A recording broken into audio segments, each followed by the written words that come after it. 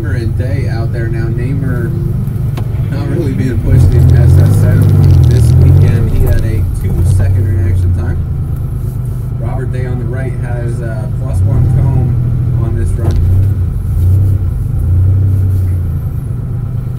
So Robert on the right at 41.029 plus one. Looks like we're going to make it most likely plus two now for uh, Robert. And uh, Namer finishing up on the left. Uh,